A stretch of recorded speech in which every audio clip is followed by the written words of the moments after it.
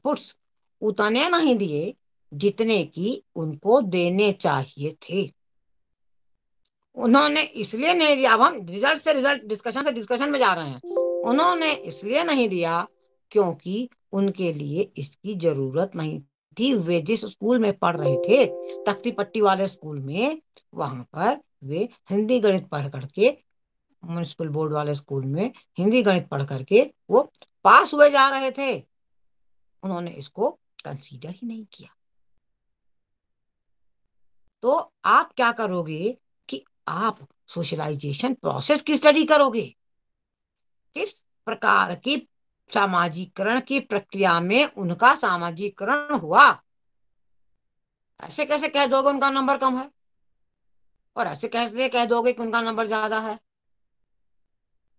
English बोलने वालों के बीच में रह करके इंग्लिश चलती है। जहाँ वहाँ से खिसके हिंदी शुरू हो जाती है। ऐसा क्यों? ऐसा इसलिए कि सोशलाइजेशन प्रोसेस डाइवर्ट हो जाती तुरंत डाइवर्ट हो जाती है। तो जब हम इस तरह की, की बातें करते हैं तब क्या होता है कि हम सोशलाइजेशन की प्रोसेस की चर्चा करते हैं।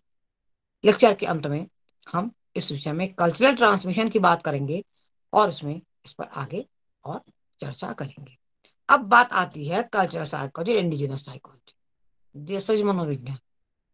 Cultural psychology and indigenous psychology और उन दोनों के बीच में हमने किस तरीके से कार्य किया। तो इसके विषय में सबसे पहले जैसे कि हमने आपको बताया था कि कल्चरल साइकोलॉजी में हम करते हैं? सिंबल कल्चरल साइकोलॉजी में हम क्या करते हैं? सिंबल और उससे हमारे पास क्या होती है? Pre knowledge pre established fact और उसके आधार पर हम संस्कृति की व्याख्या करते हैं। कल्चरल साइकोलॉजी में हमारे पास जो फार्मर पूर्वस्थापित तथ्य होते हैं, हम उन पूर्वस्थापित पूर्व तथ्यों के आधार पर ही उनकी हम व्याख्या करते हैं। उनका हम निरूपण करते हैं। हमारे पास इस तरीके के अनेक हमारे पास इस तरीके के तो अनेक का जब व्यवहार ही अलग है नाना प्रकार के फीवर चिन्ह होते हैं क्या होता था सिंबल होते हैं और लेकिन शेयर होते हैं। नहीं हम उसके आधार पर कार्य करते हैं। छत्तीस वर्षों के लेकिन इंडिजिनस में क्या होता है? गोरखपुर अर्थ मिलता से जुड़ी हुई हूँ। यहाँ से भी जुड़ी हूँ। इंडिजिनस में उखड़ी नहीं। अर्थ मिलता है और उन ये क्या अर्थ के आधार पर उसमें उन अर्थ के आधार पर हम एक भाई व्याख्या करते हैं। एक भाई अर्थ कहाँ से मिलता है? अर्थ अपनी समाज से मिलता है। मैं आपको एक छोटा सा एग्ज़ाम्पल दूँ। ये न्यूक्लियर फैमिली और तीसरी चीज़ आती है कि हम भी रह रहे हैं मौसी का लड़का भी रह रहा है गोरखपुर के समाज में? भैया के ससुराल अब इधर तो भाभी के भगवान जाने क्या होगा? ये है एक्सटेंडेड महिलाएँ अब तो अलेट घर की लड़की महिलाएँ भद्र घर की विवाहित महिलाएँ सर पे पल्लू लिए बिना नहीं निकलती थी घर के बाहर अगर घर में इन लॉज हैं तो। की उम्र होती है बड़े लोग हैं तो। बिना सर पे पल्लू लिए विवाहित महिलाएँ नहीं निकलती थी। हमारी एक सखी है वहीं पर डिग्री कॉलेज में पढ़ाती थी, सर पे पल्लू लेकर के बाहर निकलती थी और गली क्रॉस करते ही सर से पल्लू ऑटोमेटिकली हट जाता था। और वहाँ पर आते ही coming back from the college जैसे वहाँ पर पहुँचती थी, अपने आप पल्लू सर मतलब अपने आप जो घर के आएगा, ये पल्लू जो है अपने सर पर ले लेती थी। इंडिजिनस एक्सप्लेनेशन उसका ये है कि वो सम्मान करते हैं। लेकिन यहाँ पर, जहाँ पर हम हैं, ऐसा पल्लू लेने का कोई चलन ही नहीं है।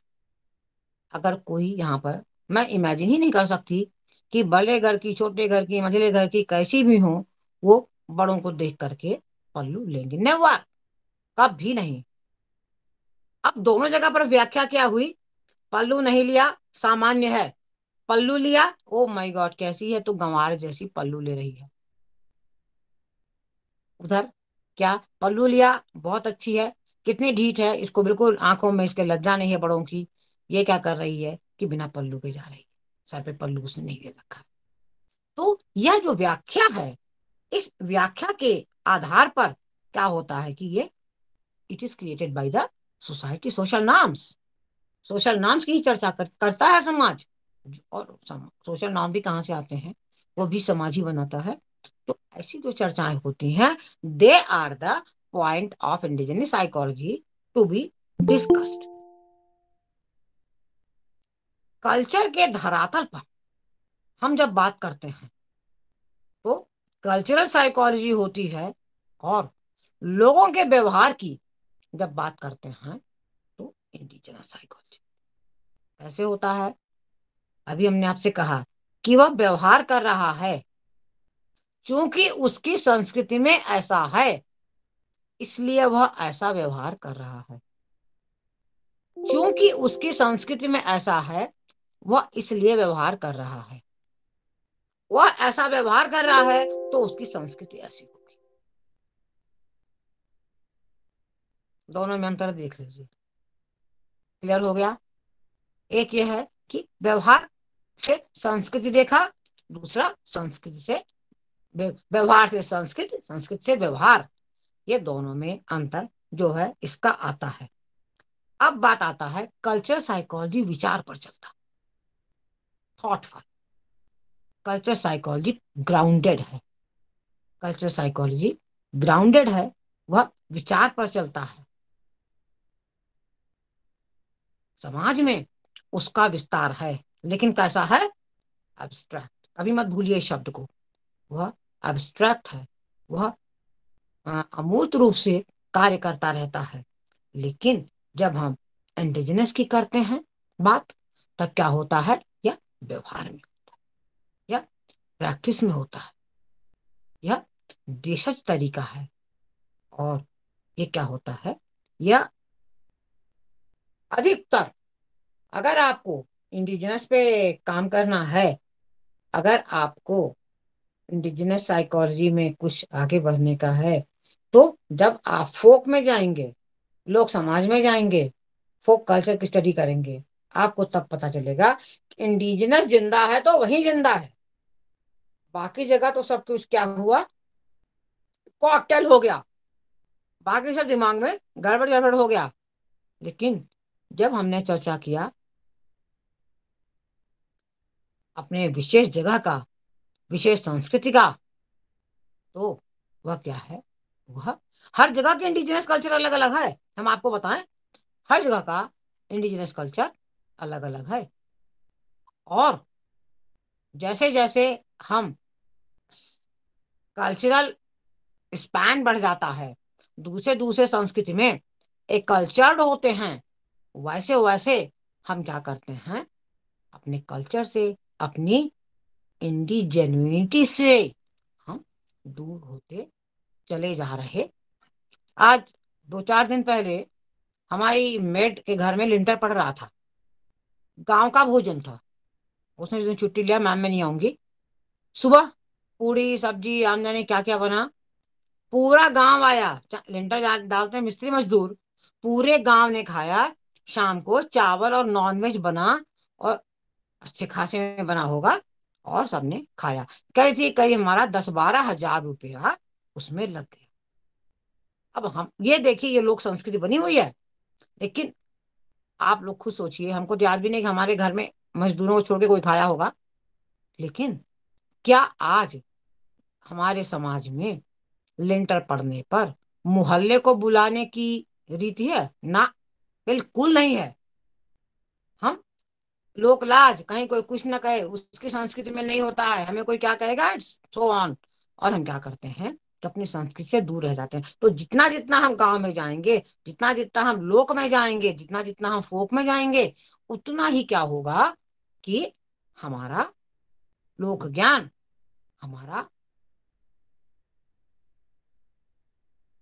हमारे में जीवित बना रहेगा। संस्कृत किस पर चलती है? विज्ञान पर। इंडियंस किस पर चलता है? लोक पर। साइंटिफिक स्टडी टोटल क्वांटिटेटिव या क्वांटो क्वालिटेटिव किसमें हुई? कल्चर में। इंडिजिनस में क्वांटिटेटिव का थोड़ा ज़्यादा स्थान नहीं बनता है। यहाँ पर शेयर क्वालिटेटिव स्टडीज़ जो होती हैं, वह होता है और यह किसमें चलता है? यह जनसंख्या पे। पॉपुलेशन पे होता है। हमने उसे पूछा, तू इतने लोगों को क्यों खिला रही? तो कहते, पिछले महीने में किसी के घर पड़ा था तो मेरे को भी खाने को मिला था। तो ये क्या है? यह जनसंख्या के ऊपर अगर कार्य करना है, जनसंख्या के मनोविज्ञान को देखना है तो लोग में जाइए और एक मनोविज्ञान जो आपको क्लस्टर्ड साइकोलॉजी मिलेगी, वो इंडिजिनस में ही मिलेगी। अब बात आता है इंडिजिनस क्रॉस कल्चर कल्चर तीनों को मिला दिया। उधर तो दो का हो गया। अब क्या करते हैं? इंडिजिनस क्रॉस कल्चर कल्चर तीनों को मिला करके देखते हैं, तब क्या बनता है? इंडिजिनस में क्या है? बिलीव बिहेवियर आदि क्वालिटेटिवली मेजर किए जाते कल्चरल में क्या है? स्टैंडर्ड साइकोलॉजिकल मेथड क्वेश्चनर लगाते हैं और इससे क्या करते हैं कि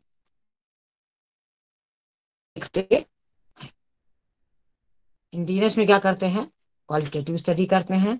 इसमें जब आप साइकोलॉजिकल एक्सपेरिमेंटल मेथड लगाते हैं क्वास एक्सपेरिमेंटल लगाते हैं आ, क्या कहते हैं आप क्वेश्चनर लगाते हैं सर्वे लगाते हैं इन्वेंट्री लगाते हैं तो आप इसमें क्वांटिटेटिव मेज़रमेंट करते और तीसरा जो क्रॉस कल्चरल का आता है वह अधिकतर अधिकतर कल्चरल में तो आप फिर भी थोड़ा क्वालिटेटिव कम क्वांटिटेटिव रिसर्च कर सकते हैं। लेकिन क्रॉस कल्चरल में जितने मैंने भी पेपर पढ़े हैं कि अधिकतर अधिकतर अधिकतर क्या होता है कि वह मात्रात्मक शोध ही उसमें आगे बढ़ाए जाते हैं। अब बात आती है three approach to study the psychology of culture cultural psychology की बात हम नहीं कर रहे साइकोलॉजी ऑफ़ कल्चर संस्कृति के मनोविज्ञान को समझने के लिए आपके पास तीन तरह के उपागम आने चाहिए। एक उपागम दिया वाइटिंग ने, दूसरा उपागम हॉस्टेल और ट्रियांडिस ने दिया, तीसरा उपागम श्वेडर और बाउरनी ने दिया। तीन तरह के उपागम थे। सबसे पहले बात आती इगोटिज्म एंड आल्ट्रुइज्म मैं और हम आई एंड वी यानी हमारी संस्कृति, मैं क्या हूँ? और मैं अकेला क्या हूँ? समाज की क्या है? आल्ट्रुइज्म परोपकार। यहाँ पर हम परोपकार की बात हम नहीं कहते हैं। यहाँ पर हम कहेंगे, मैं और समाज। वाइटिंग ने यह कहा कि एक तो जो अपने अंदर समाहित संस्कृति रही, केवल उतने की ही चर्चा। और दूसरा दूसरा क्या हुआ?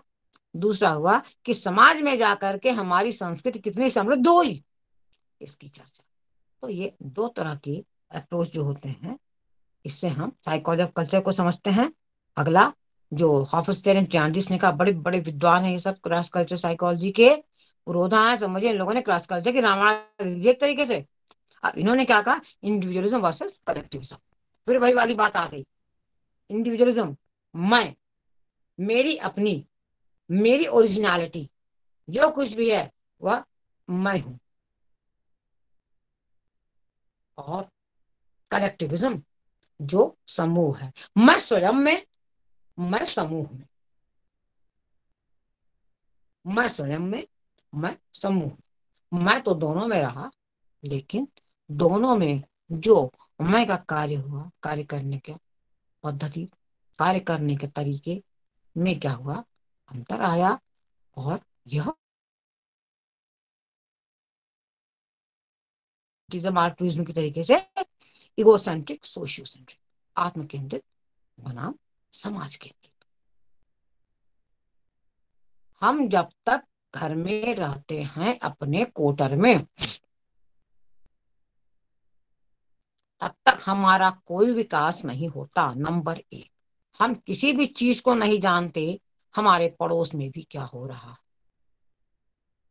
हम जब समाज में जाते हैं तो हम अपने को भूलकर समाज की गतिकी को देखते हैं समाज की गतिकी का ज्ञान प्राप्त करते हैं। और उसी समय जब हमें खुद को सिद्ध करने की आवश्यकता पड़ जाती है, उस समय क्या होता है? जब हम स्वयं को सिद्ध करते हैं, हमारा मैं फिर ऊपर आ जाता है, क्योंकि मुझे खुद को कैसे सिद्ध करना है?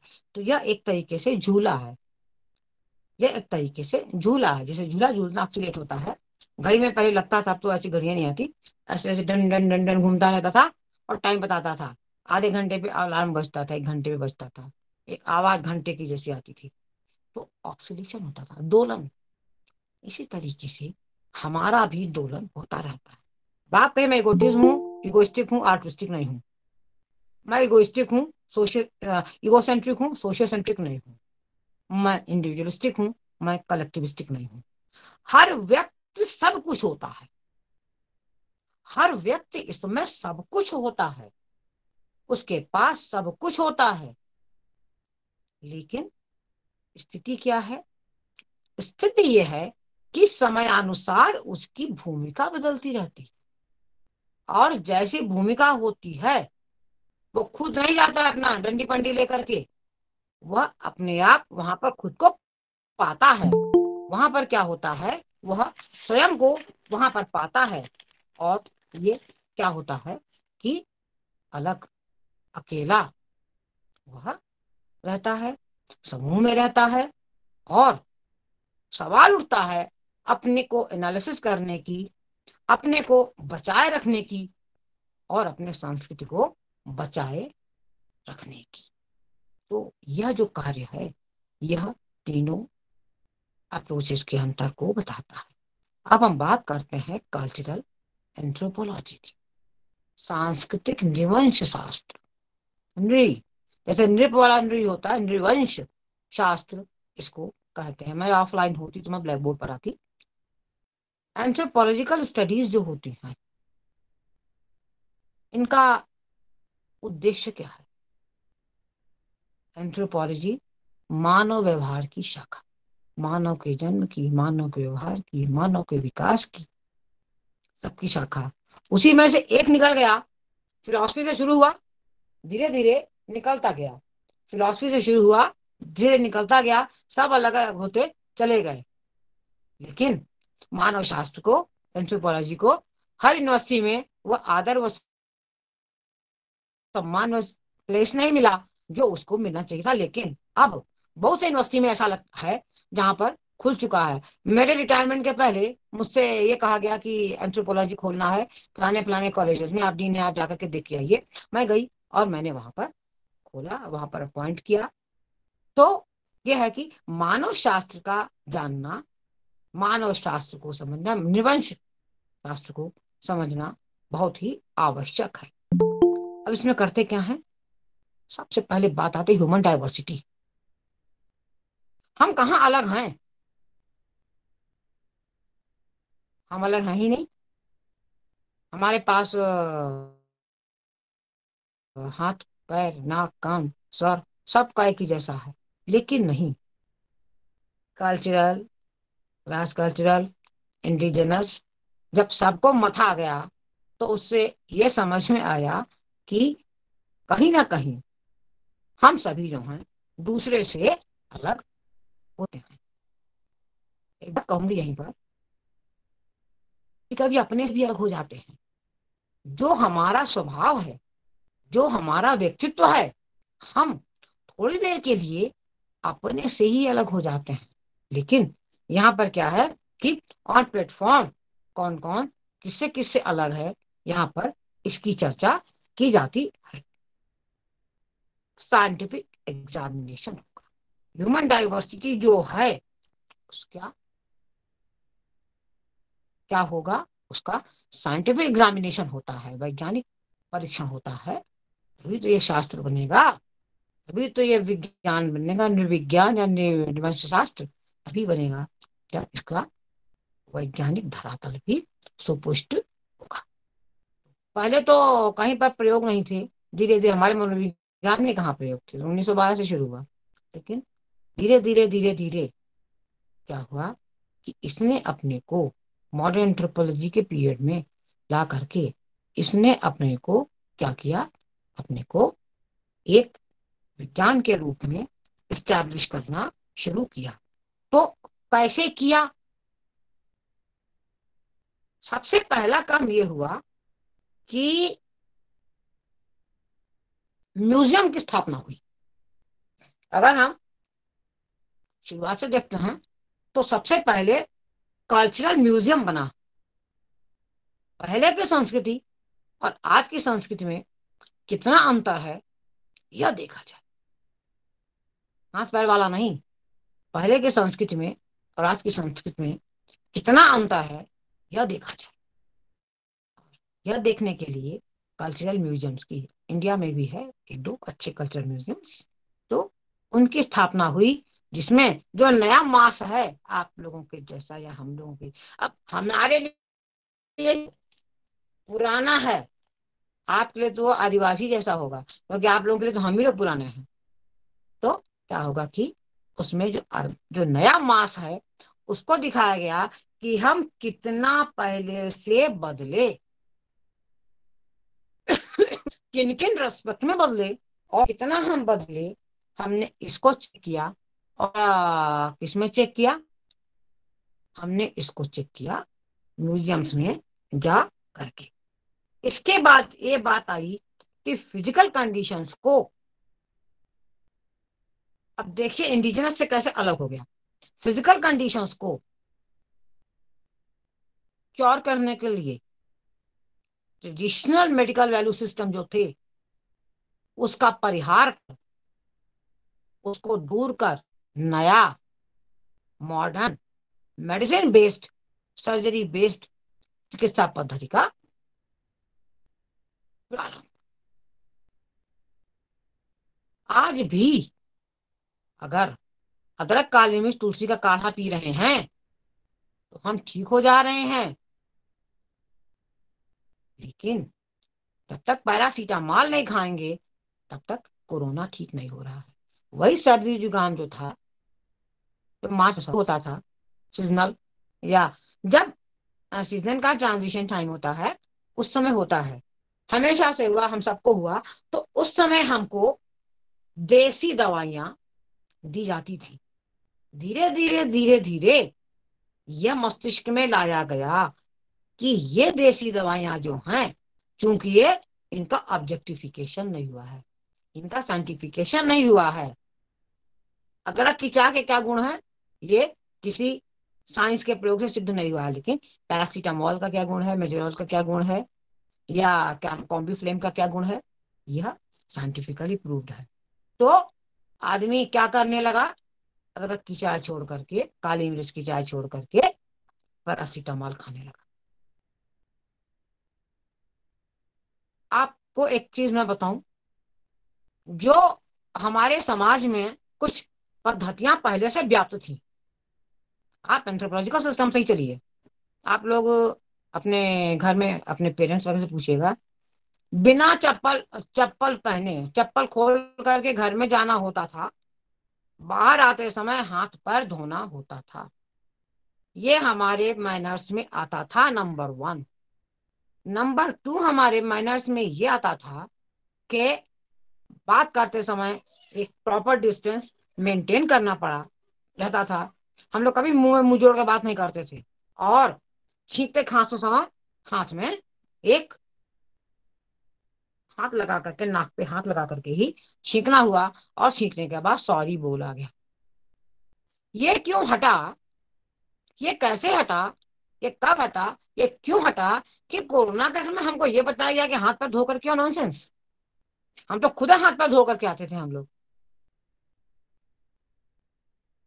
ये तो हमारी संस्कृति में था। कल्चरल डिफ्यूजन उसके कारण हुआ। और आज जब दुनिया में पट पड़े होने लगे मनुष्य, पर एक के ऊपर एक आने लगे, बहुत ज़्यादा परेशान हो गए। मौत का मामूली तांडव हुआ था फ़र्स्ट, सेकेंड लहर वेव में। तो हाथ पर धो करके आओ तो ये करके आओ तो वो करके आओ, सौ तरह की चीज़ें बताई गई जिसको हमने इवोल्यूशन कहा, जिसको हमने विकास कहा, वह सर्वनाश की जड़ निकल तो ऐसे में, ऐसे समय में हम क्या करते हैं कि नई टेक्नोलॉजी का मेडिकेशंस की, बहुत तरह की जब आविष्कार होने लगे, इसको इवोल्यूशनरी प्रैक्टिसेस में डाला गया, विकासात्मक अभ्यास कहा गया, और जिसके कारण हमारा जो ट्रेडिशनल बिलीफ सिस्टम था वह हमारा बाधित हुआ। हमारा ट्रेडिशनल बिलीफ सिस्टम जो है, वह बाधित हुआ। अब क्या हुआ कि दो तरीके के लोग हो गए। एक हो गए जो ट्रेडिशन को पकड़ के बैठे थे, जिनको कहा जाता था लकीर के फकीर बट दे नॉट सो उनको कहा जाता था लकीर के फकीर। और दूसरे कौन थे जो ट्रेडिशन को छोड़ करके विकास की दौड़ में आ रहे थे। अब दोनों के लाइफ स्टाइल में क्या फ़र्क था? उस पर डेटा आने लगा। हम दो टाइम पूजा करते हैं, हम दो टाइम दिया बत्ती करते हैं, हम सब कुछ करते हैं, हम नहाए बिना खाते नहीं। क्यों बिना नहाए खाना खा लोगी तो क्या हो जाएगा? अरे कुछ नहीं होगा। लेकिन हम ट्रेडिशनल बेस्ड हैं। आप आधुनिकता की होड़ में कभी आवश्यकता पड़ेगी अभी तक नहीं खा तो खा भी जा सकता है। लेकिन आवश्यकता नहीं पड़ी है तो आदमी जा सकता है। तो यह है कि traditional lifestyle versus modern lifestyle के बीच में जो क्लैश होता है, उन क्लैशेस का जो अध्ययन हुआ, यह जो हुआ, यह हुआ आपके मॉडर्न एंथ्रोपोलॉजी कॉलोनिज्म का इस पर प्रभाव पड़ा। पहले मोहल्ले होते थे तो मोहल्ले में एक ही स्ट्रक्चर के लोग रहते थे। लेकिन जब कॉलोनी बनी तो विभिन्न कल्चर के लोग आए और एक जगह पर रहने लगे। कई तरह का देखिए एक बना आवास विकास तो बहुत बाद में बना। नौकरी वाली कॉलोनी बनती थी। रेलवे कॉलोनी है गोरखपुर में। रेलवे कॉलोनी है बिछिया कॉलोनी है वैसे है। सूरज कुंड आवास विकास कॉलोनी है। There are so many types of colony. कुछ कॉलोनी में एक ही प्रकार के ऑफ़िस के बैंक कॉलोनी भी है। रेलवे एक, एक कॉलोनी ऐसी होती है जिसमें एक ही प्रकार के सोशियो इकोनॉमिक स्टेटस के लोग, मगर विभिन्न प्रांतों के आकर के रहते हैं कॉलोनिज्म और जब विभिन्न प्रकार के ट्रेडिशनल फैक्ट्स एक्सरसाइजेस बिलीफ्स सामने आए तो सबके मध्य में क्या हुआ कि कल्चरल स्पान जो है, वह बढ़ा। पहले क्या होता था कि टोली बनती थी।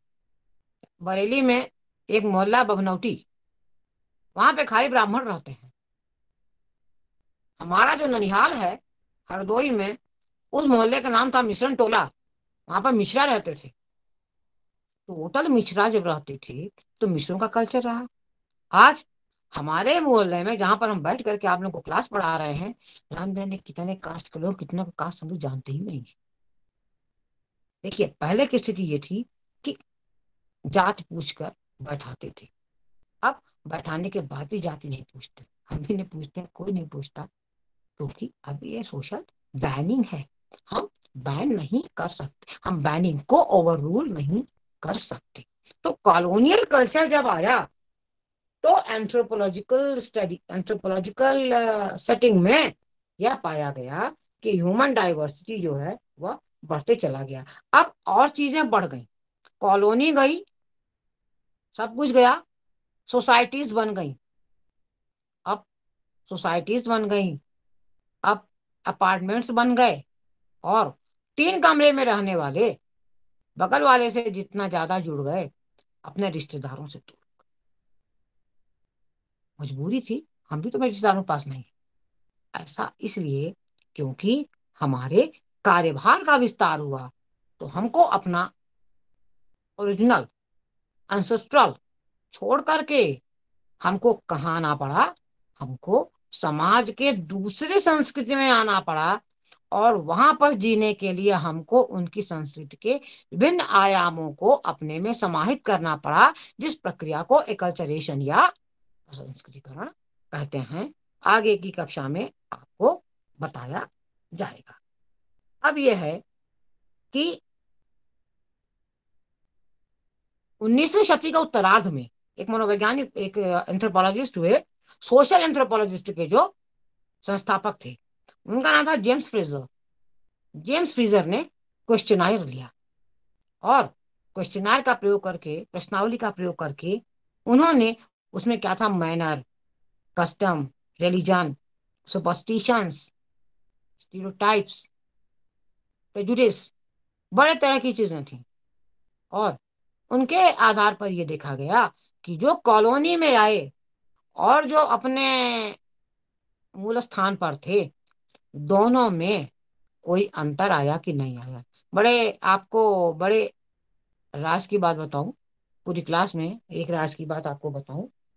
जब व्यक्तित्व, मेरा जो विचार है पर्सनालिटी का डेवलपमेंट बिहेवियर पैराडाइम का विकास,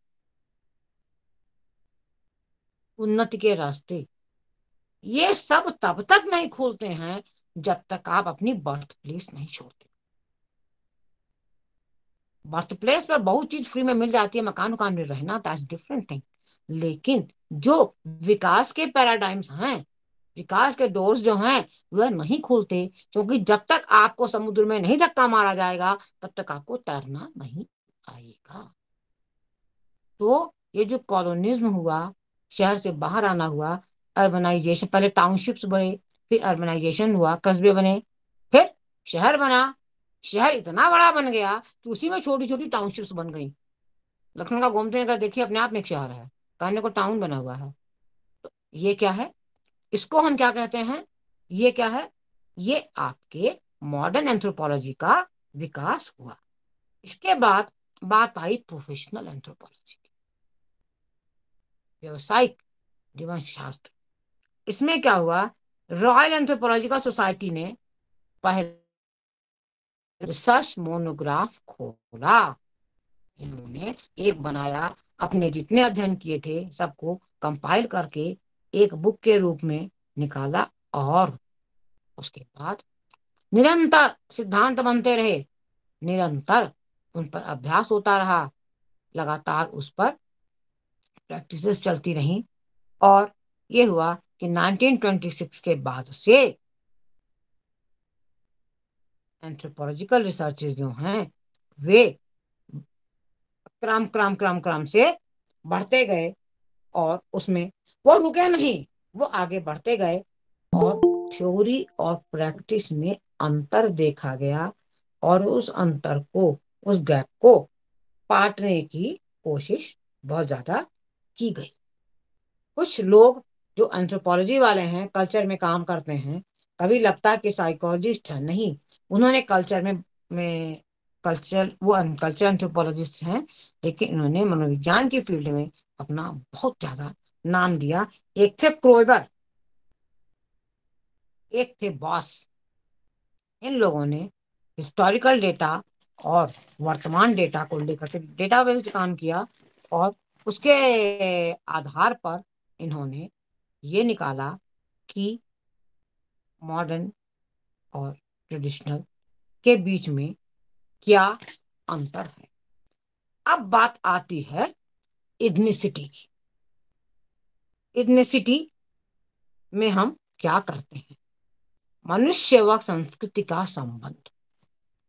इग्निसिटी एक वह व्यवहार है जो मनुष्य अपनी संस्कृति से संबद्ध होकर के करता है।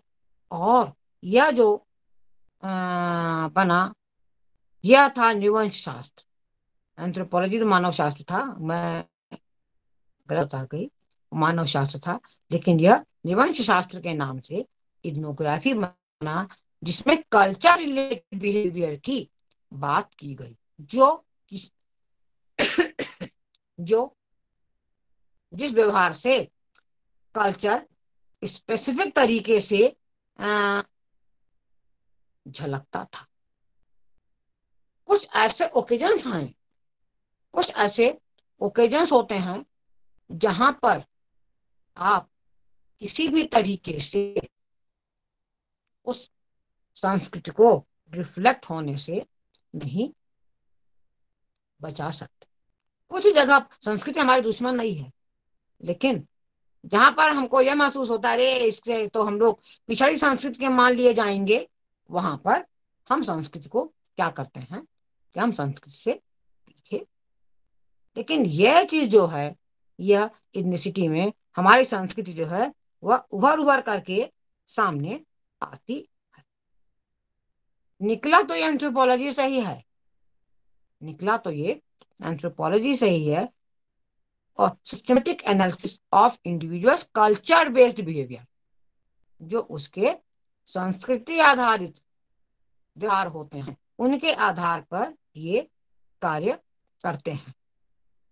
वे कौन से कल्चरल गोचर हैं? What are the cultural phenomena which specify the behaviour जिसके आधार पर कोई व्यवहार जो है, वह विशिष्ट हो जाता है, इसके लिए कार्य की अब बात आती है कि इग्नोग्राफी जो है, वह एक तरीके से मानिए तो सोशल रिसर्च है। सोशियोलॉजी में सब कुछ है। साइकोलॉजी में हमने इधर उधर बंटवारा के एक्सपेरिमेंटल सोशल अप्लाइड सोशल जाने क्या क्या कर दिया। अदर अगर मान करके चलें तो इसमें ज़्यादा फ़र्क नहीं आता है। तो इग्नोग्राफी में क्या होता है कि है तो ये सोशल रिसर्च ही, ये व्यक्ति के व्यवहार को, समूह के व्यवहार के साथ जोड़ करके उसकी व्याख्या करती है और उन गिवन रीजंस के कार्य करती है जो गिवन रीजंस उनके क्या होते हैं? जो कल्चर स्पेसिफिक होते। इसमें हम अध्ययन कैसे करते हैं? इग्नोग्राफिक रिसर्चेस इग्नोग्राफिक रिसर्चेस हम क्वालिटेटिव क्वांटिटेटिव दोनों करते हैं। क्रॉस सेक्शनल लॉन्गिट्यूडिनल दोनों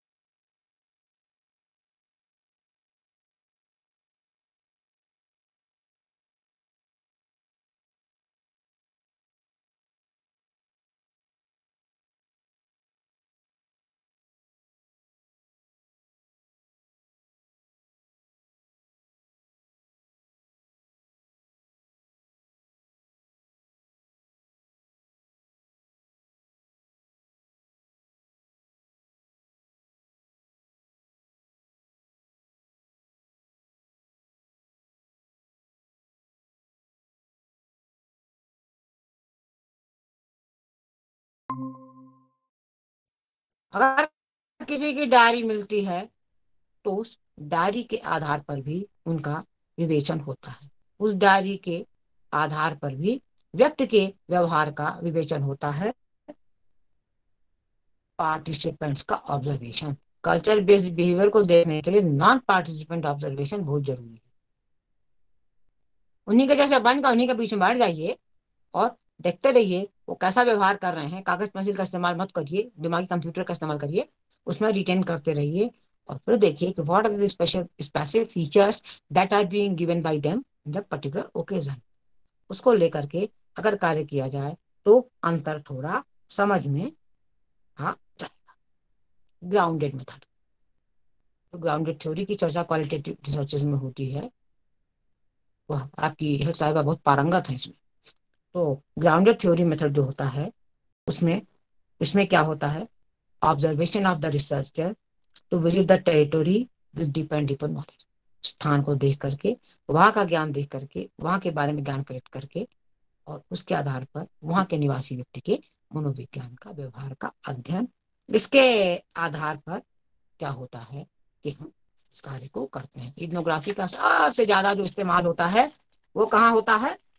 वो होता है आपके मार्केटिंग में। जितना मार्केटिंग में जाएँगे, उतना उसका अध्ययन होगा। इसके बाद बात आती है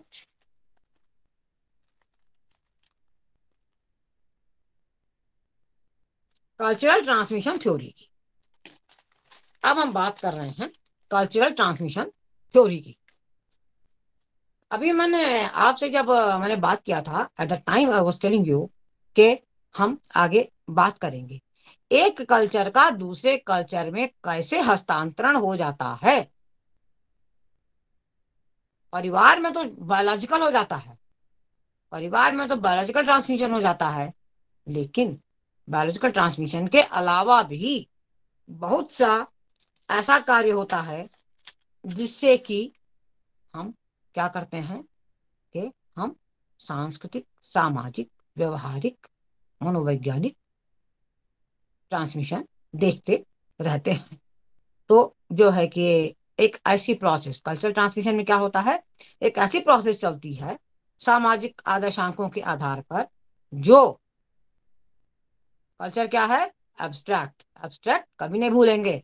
एब्स्ट्रैक्टली क्या करती है कि एक एक वस्तु को जगह जगह से जगह जगह तक क्या करते हैं कि उसको ट्रांसफ़र करते रहते अब कैसे कैसे होता है? किसके थ्रू होता है? कुछ तो जन्मता हो जाता है। कुछ परिवार में होता है।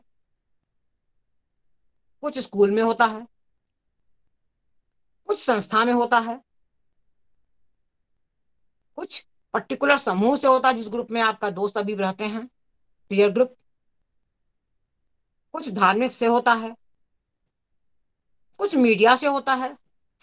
और लास्ट बट नॉट लीस्ट कुछ ऐसे होते हैं जिसको हम सोच करके ले लेते हैं। कुछ ऐसे होते हैं जिनको हम सोच करके ले लेते हैं। हमको पता ही नहीं चलता है और हमारे बीच में वह चीज़ें सामने आ जाती तो इस पर भी बहुत सारे तरह तरह के प्रयोग हुए। सबसे पहले इसमें जो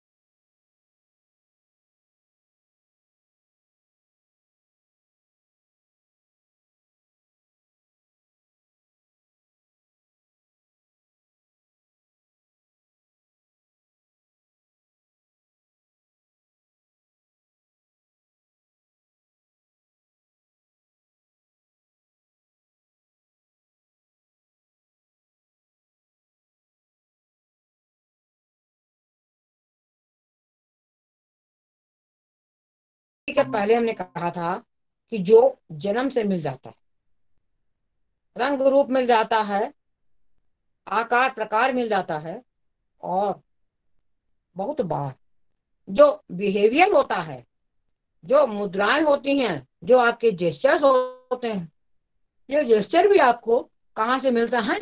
आपको वहीं से सोचिए, प्राप्त हो जाते तो ये जो बिहेवियर तो आप कहते हैं कि what is biological and cultural adaptation coined in evolutionary biology the term broadly refers by the evolution of genetics और behaviour outcomes that is organism और system to cope with externally and internally driving changes in order to survive and reproduce काम क्या है? दो survival जीना coping अपने जैसा ही एक और उत्पन्न करना। इन दोनों चीज़ों में हमें किन किन चीज़ों की आवश्यकता होती है? मनुष्य को योग्य करना। योग्य हम, योग्य करके हम क्या करेंगे? कि वह उन परिवर्तनों को स्वीकार करेगा। उन परिवर्तनों को वह शिरोधार्य करेगा, जिन परिवर्तनों के आधार पर, जिन परिवर्तनों के फलस्वरूप वह संघर्ष कर सके और रिप्रोडक्शन कर सके। यह उसको कौन कराएगा? उसके जीन्स कराएँगे। यह उसको कौन कराएगा? ये दो लोग कराएँगे। एक तो उसके जीन कराएँगे, जिसको लेकर के उसका जन्म हुआ है। एक उसका कल्चरल अडाप्टेशन कराएगा, जिस कल्चर में वो रह रहा है। यानी culture and genes both go together किसी भी कार्य के लिए, किसी भी कार्य के छोटे मोटे कार्य के भी संपादन के लिए आवश्यक यह है कि दोनों चीज़ों को एक साथ रखा जाए। कल्चर एब्स्ट्रैक्ट था, हमें दिखाई नहीं पड़ा, लेकिन हमारा उसने, हमारी जो चाबी है, वो उसी के पास थी और उसने कार्य किया। आंतरिक रूप से भी बंधा है और बाह्य रूप से बंधा है, हम दोनों रूप से संस्कृति के साथ बंधे हुए क्यों? क्योंकि यह एक समूह देता है। संस्कृति हमको समूह देती है और बायोलॉजिकल एडाप्टेशन जो होता है, वह हमको बायोलॉजिकल चेंजेस देता हम दोनों तरीके के काम को अपने मन से निर्धारित नहीं कर सकते। दोनों चीज़ें दे आर फोर्सिंग वे हमको मजबूर करती हैं, विवश करती हैं, हमारे अंदर उस प्रकार के तदनुसार परिवर्तन लाने के लिए और हम परिवर्तन करते हैं। और दोनों मिलकर के हमको मीनिंगफुल बनाते हैं। हम दोनों लेते भी हैं, हम खुश होकर के लेते हैं। हमको पता नहीं चलता, अंदर आ जाता है। लेकिन ये दोनों क्या करते हैं? हमारे जीवन को मीनिंगफुल बनाते हैं अच्छा बनाते हैं। इंडिविजुअल के रूप में हमको एक स्थान देते हैं। इंडिविजुअल के रूप में हमको एक स्थान देते हैं और समाज में हमको बैठकी प्रदान करते हैं। समाज में आप जाइए, समाज से मिलकर के रहिए फिर भी आपकी आइडेंटिटी बनी रहे। यह दोनों कार्य जो होता है बायोलॉजिकल एंड कल्चरल एडाप्टेशन के ही कारण होता है। अब ये कह रहे हैं कि culture culture affect biological adaptation culture अब पलट गया मामला। Culture affect biological adaptation because क्यों? क्योंकि अपने समाज में रहते हुए हम अपने शारीरिक आवश्यकता के मुताबिक अपना एडाप्टेशन करते पूरे भरे समाज में रहते हुए आपको जब पानी की प्यास लगती है, आप तब पानी पीते हैं। आपको जब खाने का मन करता है, आप खाते हैं। आपका सोने का मन करता है, सोते हैं। ये दीगर बात है कि कोई साढ़े नौ बजे सोता है, कोई दस बजे सोता है, कोई ग्यारह बजे सोता है। लेकिन साढ़े पाँच बजे शाम को भोजन करके कोई नहीं सो सकता।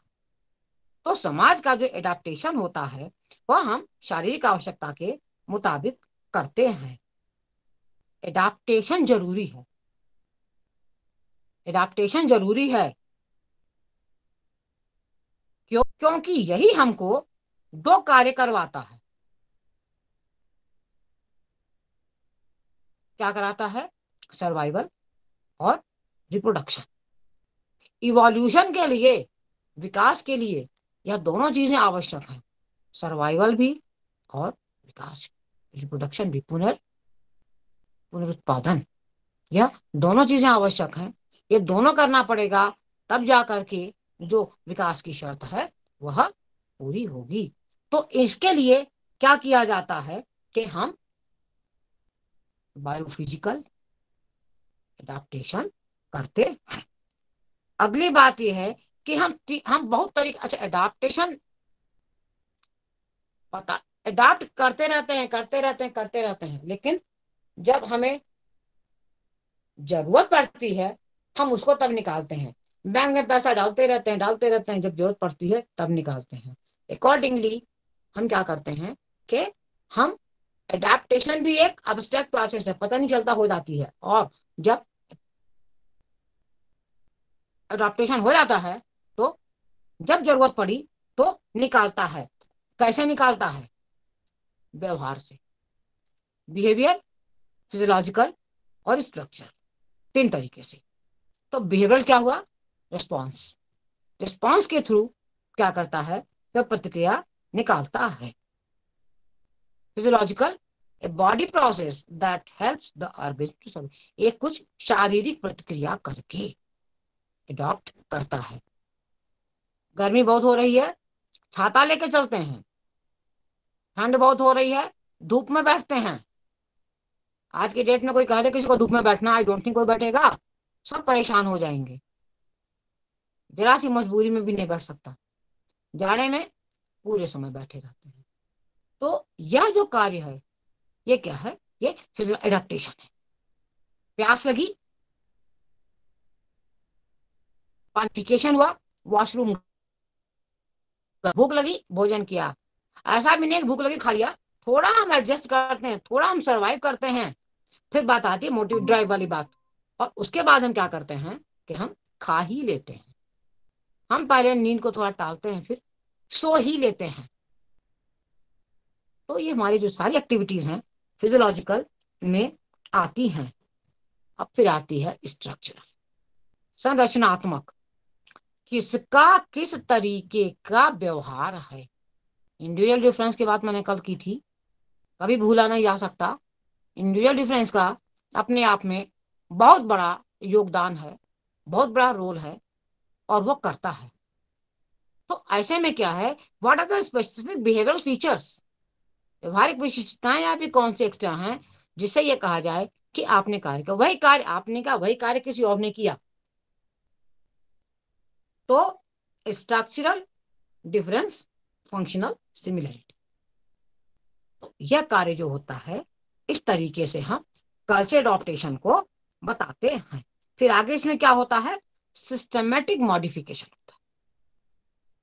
जैसे डेवलपमेंटल साइकोलॉजी पढ़े होंगे, जैसे सिस्टमेटिक उत्तरोत्तर उत्तरोत्तर विकास होता है, उसी प्रकार से परिमार्जन भी जो होता है, वह क्या होता है? एक प्रोटोकॉल से होता है। एक सुनियमन से होता है और सबके साथ होता है। किस किस चीज़ में होता है? भाषा में होता है। विकास, संस्कृत में विकास होता है। संदर्भ में विकास होता है। हर संदर्भ हमारे लिए नहीं है। आज का संदर्भ प्लेग्राउंड में बच्चे फुटबॉल खेलते, तब तो बच्चे नहीं खेलते। तो वह उनके लिए था। पहले छोटी लड़कियाँ गुड़िया खेलती थी। वह संदर्भ था। आज के संदर्भ में कोई लड़की गुड़िया नहीं खेलती। गुड़िया अगर आती भी है बढ़िया डॉल तो माउस को अलमारी में शोकेश में सजा देती है। परिवर्तन है। ये अंतर है। ऐसे नहीं हो सकता। धीरे धीरे धीरे धीरे क्या होता है कि अनुभव में अर्थ जुड़ता रहता है। अनुभव में अर्थ जुड़ता रहता है। अनुभव में वैल्यूज़ जुड़ते रहते हैं। अनुभव में मूल्य जुड़ते रहते हैं। और ये दोनों चीज़ें मिल करके क्या करते हैं कि संस्कृति को आगे ले जाती हैं। संस्कृति को हमसे बढ़ाया जाता है और संस्कृति के सांस्कृतिक स्वरूप को, संस्कृति के कैप्सूल को क्या करते हैं, वे इसके द्वारा, इसके आधार पर बढ़ाते अब बात आती है बिहेवियर जेनेटिक्स की। बिहेवियर जेनेटिक्स की बात आ रही है। व्यवहारिक जैविकी। व्यवहारिक जैविकी क्या होता है? मनुष्य क्या है? जब हम मनुष्य की बात करते हैं हेरिडिटी और इन्वायरमेंट का, मनुष्य हेरिडिटी और इन्वायरमेंट का दोनों मिला करके उसका गुणनफल है, गुणोत्पाद है, क्रॉस प्रोडक्ट है। यानी व्यवहार को जेनेटिक फैक्टर और इन्वायरमेंटल फैक्टर दोनों जो हैं, वे मिल करके प्रभावित करते हैं और ये जो है व्यक्ति को ये दोनों करते क्या हैं, ये कैसे प्रभावित करते हैं? ये इंफॉर्मेशन देते हैं। जितना ज़्यादा हमारे पास इंफॉर्मेशन होगा, जितना ज़्यादा हमारे पास सांवेदिक सेंसरी इनपुट्स होंगे, उतने ज़्यादा हम रिच होंगे और जितने रिच होंगे, उतनी ही अच्छी हमारी रिस्पॉन्स होगी। कभी कोई कहता है कि उसके पास शब्द नहीं। पहले एक हमने स्टडी पढ़ी थी, याद आ रही आपसे बात करते करते, बेसिल बर्नस्टीन की। बेसिल बर्नस्टीन ने लैंग्वेज पे बहुत अच्छा काम किया था। आपके मनोविज्ञान विभाग में एक पुस्तक कारमाइकेल की रखी हुई है, ग्रे कलर की है। उसमें क्या पता होनी चाहिए, उसमें बेसिल बर्नस्टीन का आर्टिकल था। उन्होंने लोअर क्लास जो मजदूर मिस्त्री होते हैं और अपर क्लास जो टीचर या वैसे मतलब टीचिंग प्रोफेशनल्स होते हैं, उनके बीच में उन्होंने अध्ययन किया। उस अध्ययन में यह पाया गया कि वो वर्बा जो छोटे लोग जो मतलब जो ब्लैक कॉलर थे blue collar black collar and blue collar वे क्या करते थे कि उनके जो वर्बाटिम्स वो केवल उनके शब्द जाल जो है, वो क्रियापद थे। खाया, पिया, सोया, जागा, खेला, कूदा लाइक दिस और जो, क्योंकि उनका जो परिवेश था, उनके जो इनपुट्स थे, वह इतने ही थे। लेकिन जो उससे आगे बढ़े, लेकिन जो उससे आगे बढ़े, जो व्हाइट कॉलर थे, जो अच्छी नौकरी में थे, जिनके पास एक्सपीरियंशियल इनपुट्स बहुत ज़्यादा थे, उनके पास क्या हुआ? कि उन्होंने नाउन, प्रोनाउन, एडजेक्टिव, वर्ब सब के साथ का प्रयोग किया। सत्य कथा बताऊँ, वह पेपर हमको, हमारे प्रातः स्मरणीय गुरुदेव प्रोफेसर गिरीश्वर मिश्र जी ने हमको एक यह पेपर और मैं कार्तिक का पेपर दिया। बोले, इस पर काम इसको पढ़ो, खूब पढ़ो। और उसके बाद रिप्रेजेंटेशनल प्रोसेस पर उन्होंने हमको पीएचडी कराई। यानी किसका रिप्रेजेंटेशन किस प्रकार का होता है? Upper class, lower class. Socioeconomic socioeconomic उन्होंने नहीं दिया था। हमको तो अपनी थीसिस अभी तक याद है, लेकिन इस समय नहीं बताऊँगी। तो क्या किया कि अब ये जो बात हम कह रहे हैं कि जिस तरीके से न उनके जींस में था, न उनके वातावरण में था तो उनका जो बिहेवियर जेनेसिस था, वो उतने में ही घूम घूम रह रहा था। जो घरेलू महिलाएँ हैं घर, द्वार, झाड़ू, पोछा, कपड़ा, लत्ता, फ़ैशन, मेकअप, पार्लर से ज़्यादा बात नहीं करती है। सर्विस क्लास के पास इसकी मात्रा कम होती है, हालाँकि सब चीज़ों से वो भी गुरुबरु होते हैं, लेकिन वहाँ पे कोर्स, पढ़ाई, घटना चक्र, बहुत सी चीज़ें आ जाती हैं। तो कुल मिलाकर के हम यह देखते हैं कि जैसा आपका जेनेटिक ट्रांसमिशन हुआ, जैसा आपको इन्वायरमेंटल एनरिचमेंट या इन्वायरमेंटल स्कैसिटी मिली। दोनों का जो क्रॉस प्रोडक्ट हुआ, वह आप हुए और आप क्या हुए जो आपका व्यवहार हुआ। तो इन चीज़ों को मद्देनजर करते हुए हम ये कह रहे हैं कि relationship between genes and environment इनमें एक सार्थक रिलेशनशिप आपको सकारात्मक दिखाई पड़ेगी। जैसे इन्वायरमेंट रिच हुआ, जैसे जीन्स रिच जैसे जेनेटिक रिचनेस आई वह इन्वायरमेंटल रिचनेस के लिए आगे प्रयत्नशील हुआ। जब जेनेटिक रिचनेस ही नहीं है तो वह इन्वायरमेंट को परसीव ही नहीं करना चाहता। वह उतना ही परसीव करता है जितना कि वह चाहता है और उससे ज़्यादा वह नहीं कर पाता है। अब बात आता है प्रकृति संपोषण परिकल्पना। Nature and nurture hypothesis of nature and nurture व्यवहारिक क्षमता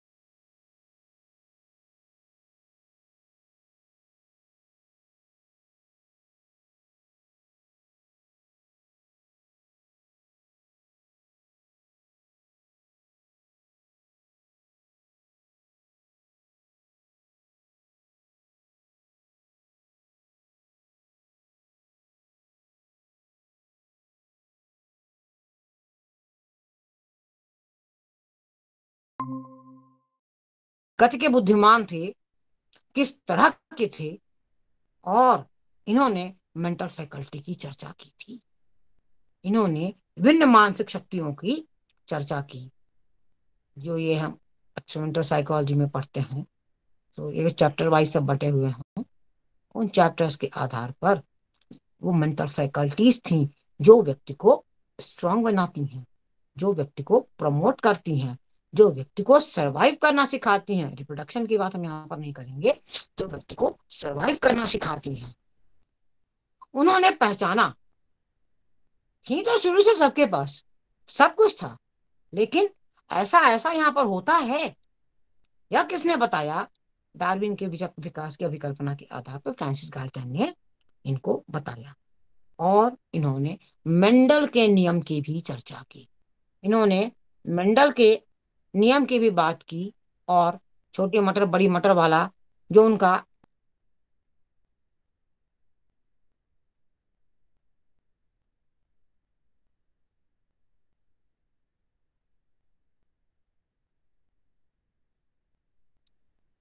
उस प्रयोग के आधार पर। Am I audible to you मेरी आवाज़ आ रही है? यस मैम बीच में नहीं बीच में नहीं कोई बात नहीं। तो ऐसा है कि जो मेंडल का नियम था सोशलाइजेशन ने आपको पढ़ा होगा, छोटी मटर, बड़ी मटर वाला, उन पर भी इन्होंने काम किया। बिहेवियर जेनेटिक्स में उन्होंने, वे सब चीज़ें ग्रहण की।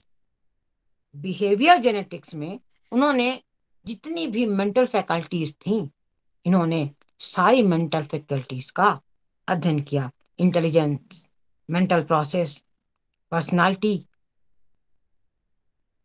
psychopathology depression schizophrenia आदि बहुत तरह की चीज़ें हुई, जिनमें कि उन्होंने अध्ययन किया। किस किस तरह के अध्ययन हुए? कहाँ कहाँ पर हुए? कहने को तो साइंटिफिक लैब हमारे विलहन वोंट ने इधर बनाई थी, हमारे मनोविज्ञान में। लेकिन ऐसा नहीं था। हमारे पास इन्होंने भी बहुत तरह का एक्सपेरिमेंट किया। इन्होंने लैब वर्क भी किया प्लस फ़ील्ड वर्क भी किया। लैब वर्क फ़ील्ड वर्क आदि बहुत तरीके के इन्होंने कार्य किए और जिसके आधार पर उन्होंने हेरिटी और इन्वायरमेंट के बीच के ये जो अध्ययन है इनको पुष्ट करने की चेष्टा की। इसके बाद, इसके अलावा share lab experiments were also वैसे भी बहुत सारे प्रैक्टिकल्स हुए जो नियमित, नियंत्रित अवदशा में किए जाते हैं और उन्होंने वैसे भी कार्य किए। हम जब बिहेवियर जेनेटिक्स की बात करें और जेनेटिक डेफिशिएंसी जेनेटिक डिफॉर्मिटी के कारण उत्पन्न हुए प्रतिफल की चर्चा न करें तो यह मेरे विचार से समीचीन न होगा। तो बहुत से आनुवांशिक रोग हैं जो क्रम क्रम क्रम से पीढ़ी दर पीढ़ी आते रहते हैं।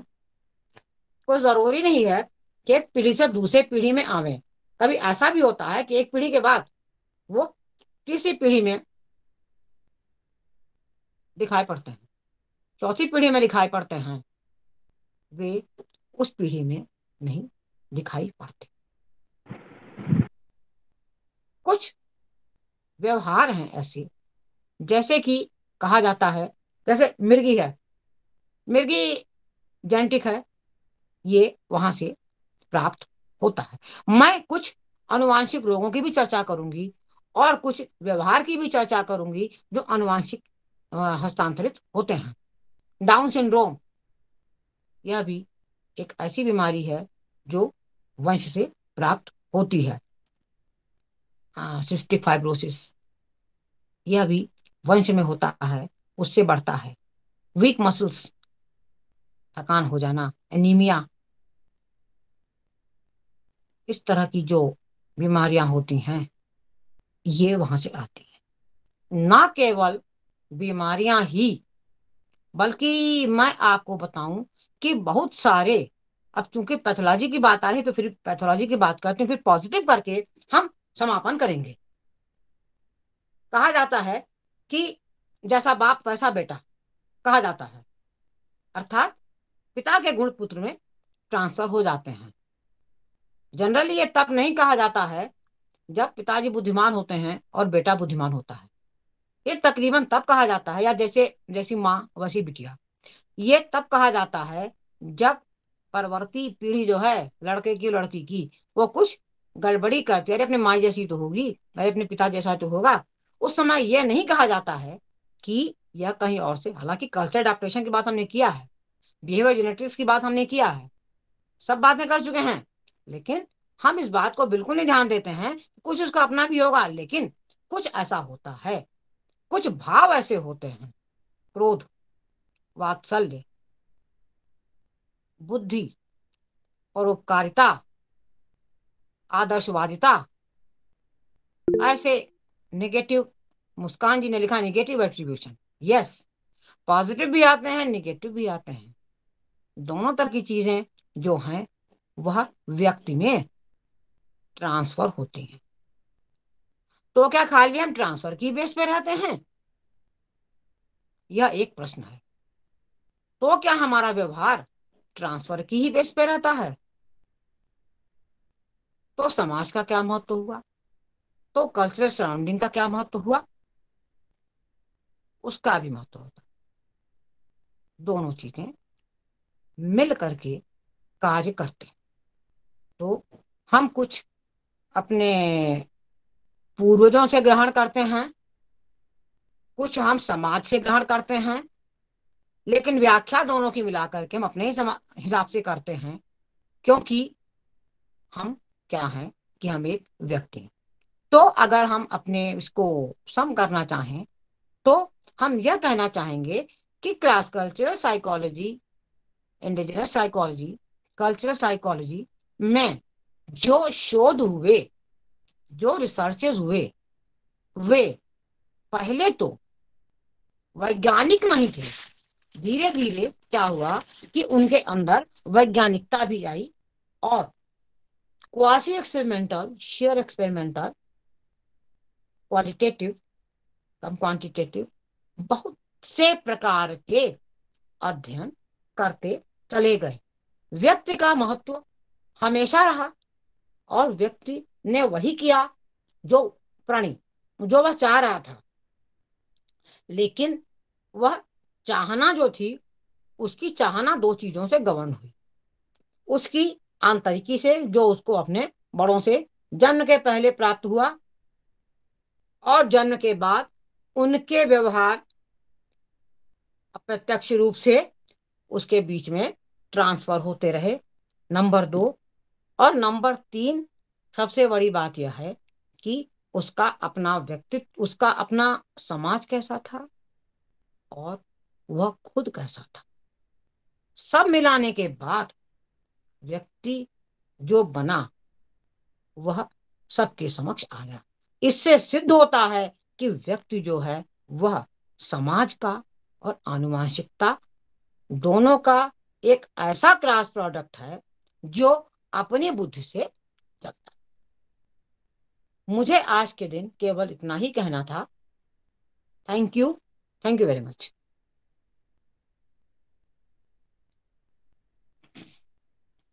जिस किसी को कोई डाउट या कंफ्यूजन हो, वो मैम से क्वेश्चन पूछ सकता है।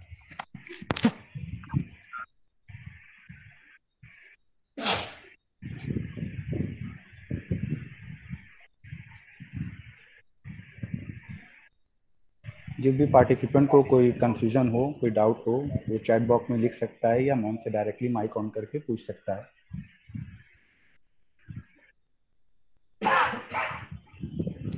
तो मैम लगता है किसी का कोई क्वेश्चन नहीं है। या तो सब समझ में आ गया या तो कुछ समझ में नहीं आया So ah. thank you, ma'am. You have elaborated approaches in cross-cultural psychology with real-life examples for better and deep understanding on the behalf of Professor Anubhuti Dubey ma'am, Professor Dhananjay Kumar sir, and all the participants, I would like to say thank you so much for your fruitful lecture and your time. Now we will end today's session and we will meet again on tomorrow on the same time. Thank you so much, ma'am. It is always a pleasure to listen to you. Thank you. Thank you, ma'am. Thank you ma'am welcome अरे नमस्कार